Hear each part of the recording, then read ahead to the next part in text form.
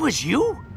We went halfway across the galaxy, got chased by that psycho Hala for a party trick? It is my job to guide the Celestial One. What the hell does that mean?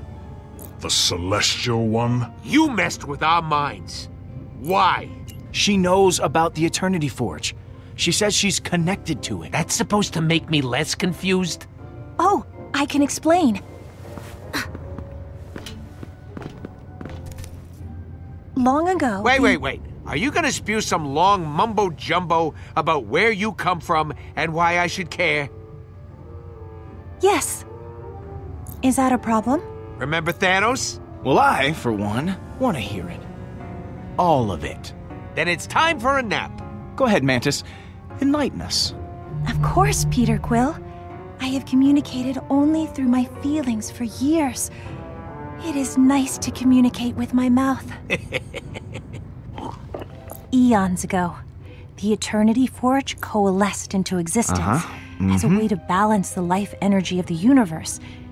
To create, you must destroy, and to destroy, you must create.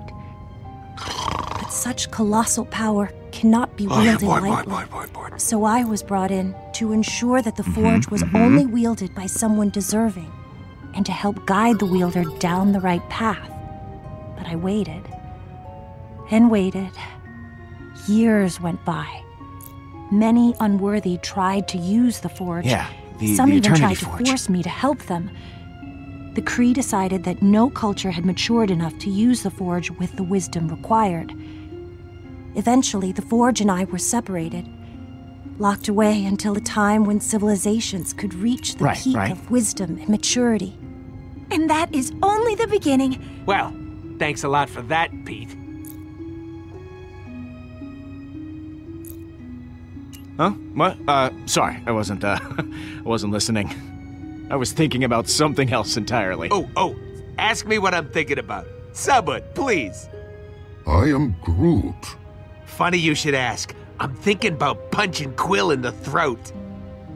I suppose I should start over then. Ah! Eons ago, the Eternity Forge coalesced into existence as a way to balance the life energy of the universe. To create, you must destroy, and to destroy, you must create. But such colossal power cannot be wielded lightly. So I was brought in to ensure that the forge was only wielded by someone deserving Oh, I hear ya. and to help guide the wielder down the right path. But I waited and waited. Years went by. Many unworthy tried to use the forge.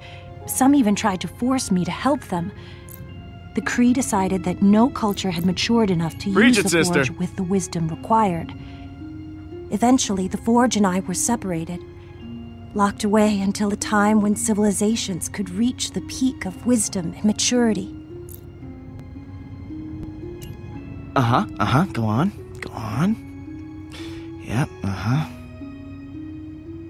And that is only the beginning. Well, thanks a lot for that, Pete.